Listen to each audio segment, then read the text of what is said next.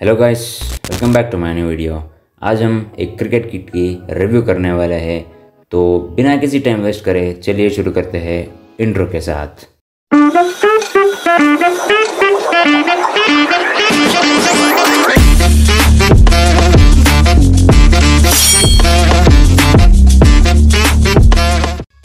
तो आज का रिव्यू होने वाला है स्ट्रॉस क्रिकेट किट की। ये किट पूरा किट है मतलब पूरा क्रिकेट का सारी एक्सेसरी सारी गियर्स आपको मिलेंगी।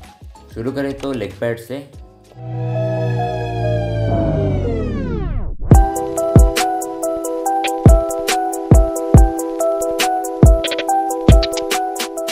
क्वालिटी ठीक है इस प्राइस रेंज में, लेकिन एक बिगिनर के लिए अच्छा है।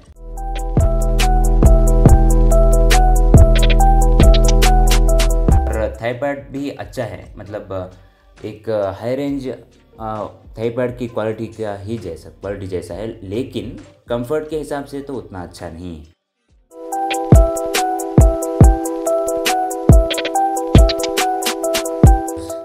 ग्लव्स मतलब ज़ीरो मतलब कोई भी स्ट्रिप्स नहीं थी सिंगल स्ट्रिप वाला ग्लव्स था सिंगल स्ट्रिप वाला, और अच्छा है, लेकिन लेदर उतना ज़्यादा मतलब प्रोटेक्टिव तो नहीं है बिगिनर के लिए अच्छा है। उसके बाद ये फोर आर्म आर्म गार्ड ये कहते हैं कि ना फोर आर्म गार्ड क्या कहते हैं इसमें हाँ जो कुछ भी हो अच्छा था।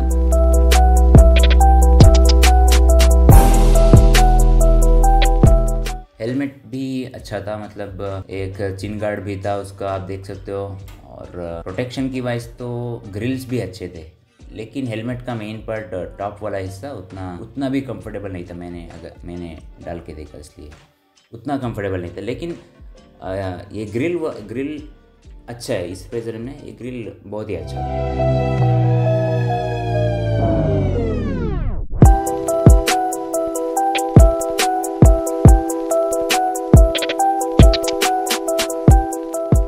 और बहुत ही ज़्यादा इम्पोर्टेंट एक बैट्समैन के लिए बैट होते हैं ऑब्वियसली और बैट देखे तो अच्छा था, कश्मीर विलो बैट है।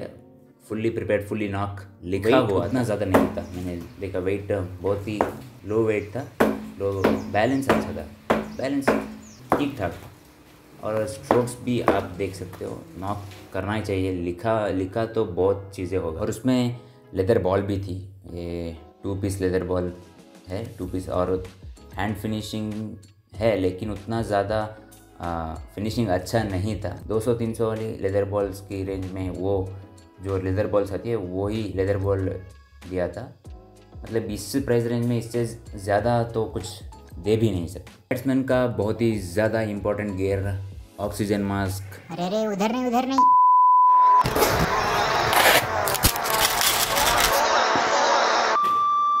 तो इसका प्राइस बताऊँ तो सिर्फ़ फोर थाउज़ेंड रुपीज़ था। चार हज़ार रुपये है। मैं हॉनेस्ट रिव्यू देता हूँ। इतना ज़्यादा अच्छा नहीं था, लेकिन चार हज़ार की रेंज में ये बेस्ट है, ठीक है? मतलब बिगिनर के लिए एक एक बेस्ट है, चार हज़ार की रेंज में ये बेस्ट क्रिकेट किट है। लेकिन प्रोडक्ट प्रोडक्शन के वाइज तो बिगिनर के लिए ठीक ठाक है। अगर आप इंटरमीडिएट भी हो, एक अच्छा पेस के लिए आप खेलते हो 120 की पेस में खेलते हो तो प्लीज़ इसे यूज़ मत करो, बहुत ही ज़्यादा और उस रेंज में ये यूज़लेस है। अगर आप बिगिनर हो तो ये बेस्ट है। तो अगर आपने यहाँ तक वीडियो देखी तो धन्यवाद। लाइक करिए शेयर करिए और सब्सक्राइब बटन को ठोक दीजिए। नमस्कार, मिलते हैं अगले वीडियो में। जय हिंद।